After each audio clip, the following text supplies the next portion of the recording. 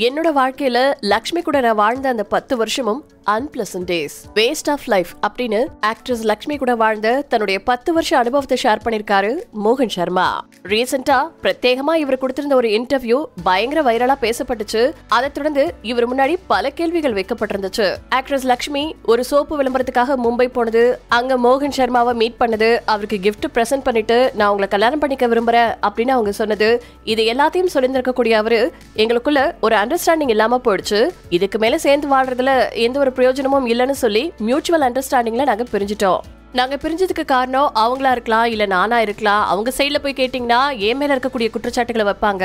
என்கிட்ட கேட்டீங்கன்னா நான் அவங்க மேல இருக்கக்கூடிய குற்றச்சாட்டுகளை வைப்பேன். ஆரம்பத்திலிருந்தே சொந்த அம்மாவே தன்னோட அம்மா இல்லடாங்க அதுக்கப்புறம் பொண்ணை என்னோட பொண்ணே இல்லைன்னு சொன்னாங்க. பொண்ணை பழி வாங்குறதுக்காக இன்னொரு பொண்ணை தத்து எடுத்துக்கிட்டாங்க. இப்படி அடுத்தடுத்த குற்றச்சாட்டுகளை மோகன் சர்மா வச்சதுனால ஆக்ட்ரஸ் லக்ஷ்மி அண்ட் மோகன் சர்மா இவங்களோட லைஃப்ல அப்படி இவங்க பிரியதுக்கான காரணம் என்னவா இருந்துச்சு அப்படிங்கிற கேள்வி எல்லாருக்குள்ளயும் அதிகரிக்க தொடங்குச்சு. நைன்டீன் எயிட்டி ஃபைவ்ல நடந்த விஷயம் ஒரு முப்பத்தஞ்சு வருஷத்துக்கு அப்புறமா இப்ப இந்த விஷயத்துல என்ன கிளாரிட்டி தேவை இருக்கு எதனால இந்த விஷயத்த பேசினாங்க? அப்படின்னு அடுக்கடுக்கா பல கேள்விகள் இவர் முன்னாடி வைக்கப்பட்டிருந்துச்சு. ஆனா முதல் முதல்ல மனம் திறந்து பேசின மோகன் சர்மா அவங்க அம்மாவை அம்மாவே இல்லைன்னு சொன்னா அவங்க அம்மா எனக்கு பிரசவம் பார்த்த டாக்டர் இவங்க தான் இவங்க கிட்டே கேட்டுக்கோங்க அப்படின்னு சொல்லி சாட்சியெல்லாம் கூட்டிட்டு வந்தாங்க. அம்மா பொண்ணு சண்டையில தன்னோட பொண்ணையே இல்லைன்னு சொன்னாங்க லக்ஷ்மி. இப்படி தெல்ல தெளிவா ஒவ்வொரு விஷயத்தையும் சொல்லியிருந்த மோகன் சர்மா இப்போ ரீசெண்டா கொடுத்திருக்கக்கூடிய இன்டர்வியூல ஒரே வார்த்தை மட்டும் தான் ரிப்பீட்டடா சொல்லியிருக்காரு. எனக்கும் லக்ஷ்மிக்கும் ஒத்து வரல நாங்க பிரிஞ்சிட்டோம். அந்த பொண்ணோட வாழ்க்கை வீணா போகக்கூடாது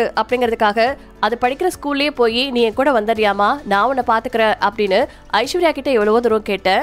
உன்னால எப்படிப்பா என்னைய பார்த்துக்க முடியும்? நீ எப்படி என்னைய பார்த்துக்குவ அப்படின்னு சொல்லி அவங்க கதறி எழுதியிருக்காங்க. இது எல்லாமே நடந்ததெல்லாம் உண்மைதான் அவ அம்மா மாதிரி ஒரு நடிகை ஆகிறத நான் விரும்பல. சினிமா லைஃப்குள்ள அவ வந்துடவே கூடாது. அவளுக்கு ஒரு நல்ல வாழ்க்கையை அமைச்சு கொடுக்கணும் அப்படிங்கறதுக்காக தான் தனியா கூட்டிட்டு போயிடலான்னு பார்த்தேன். என்னதான் நான் பயாலஜிக்கல் ஃபாதரா இல்லைனா கூட எனக்கு அவ மேல ஒரு தனிப்பட்ட அக்கறை இருந்துச்சு. அந்த அக்கறையின் பேரில் தான் கூப்பிட்டேன் பட் அவள் வரல. இப்பெல்லாம் அப்பப்போ ஃபோன் பண்ணுவாங்க பேசுவாங்க அவ்வளவுதான். லக்ஷ்மியோட அம்மாவான ருக்மிணி அம்மா உயிரோட இருக்கிற வரைக்கும் பேசுவாங்க. என்னைய நேர்ல பாக்கணும்னு கூப்பிடுவாங்க. நானும் போவேன் அவங்கள பார்ப்பேன். கொஞ்ச நேரம் பேசி இருந்துட்டு வருவேன். அண்ட் அவங்க ஆரம்பத்துல நாங்க பிரியறேன்னு சொல்லும்போது எனக்கு இது ஒன்றும் ஷாக்கான விஷயமே கிடையாது அப்படின்லாம் சொல்லியிருந்தாங்க. என்னைய கேட்டாலும் நான் அதுதான் சொல்வேன். இண்டஸ்ட்ரியில இருக்கக்கூடிய பர்சன் ஒன்னா சேர்ந்து வாழ்றதுங்கிறது சாத்தியமில்லாத ஒண்ணுதான். அதே மீறி ஒரு சிலர் வாழ்றாங்க. அவங்களுக்குள்ள அந்த அளவுக்கு அண்டர்ஸ்டாண்டிங் ஹை லெவல்ல இருக்கும். ஒருத்தர் ஒருத்தர் மேல அவ்வளவு ட்ரஸ்டா இருப்பாங்க. ஒருத்தர் மாத்தி ஒருத்தர் அவங்க மேல அவ்வளோ அக்கறையோட இருப்பாங்க. இப்படி இருந்தா மட்டும்தான் அது நீடிக்கும். நான் அவங்கள மீட் பண்ணும்போது அவங்க என்னை விட சீனியர் ஆர்டிஸ்ட் அதாவது வயசுல சொல்லல எக்ஸ்பீரியன்ஸ்ல சொன்னேன். நான் ஒரு 150 படம் நடிச்சிருக்கேன் அப்படின்னா அவங்க என்னை விட அதிகமான படங்கள் நடிச்சிருக்காங்க.